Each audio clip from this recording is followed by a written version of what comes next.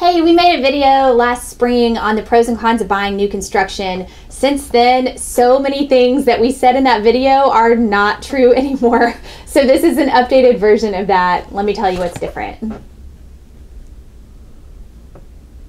All right, so let me tell you what's going on with new construction right now. We have so many buyers coming into the Austin area. There are not enough houses for them, and builders are trying frantically to increase inventory so that we have more houses for all these buyers. So, I mean, these people that work in these sales offices, you guys, they are working like 80 hour re- weeks right now. They're exhausted and they're trying their best to keep up. Um, there are not enough houses even now. So, so new construction used to be you walk into a sales office they show you what they got. You sign the contract, you put down your earnest money.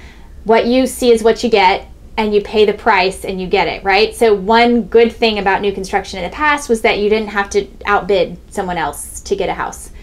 Not so anymore. So now we've got some builders who are releasing new lots mm-hmm. and they're opening them up for bids because they know that there are 500 people who want their 10 lots that they have available. And so they're just putting them out there and you make a bid on a lot to try to build it. There are other builders who are having lottery systems. I heard of one community out in easton park one builder who had 50 people on a wait list and three lots to sell so that you had to put your name in a hat and be entered into a drawing and whoever won the lottery got the lot Another thing that used to be super great about going into new construction communities was that you could choose to either buy a lot and build from the ground up, or you could buy an inventory home, which is like a spec home that the builder was building. It would already be partially through, and you might be able to move in in the next few months. Um, you didn't get to choose as many things, but you still got a brand new house that was ready soon. Uh, there's no inventory homes right now. very, very, very few inventory homes because they can't keep up. They sell as soon as they have a house ready.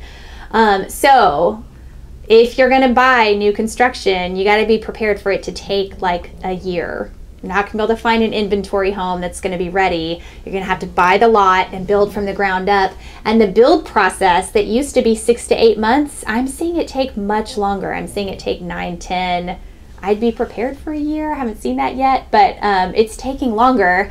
And that is because there's all these delays in the process due to not enough workers to build all the houses, due to delays with COVID. So, like for instance, we get our lumber from the East Coast. So, if there's a COVID outbreak in one of those East Coast lumber plants, they've got to cut back their crews.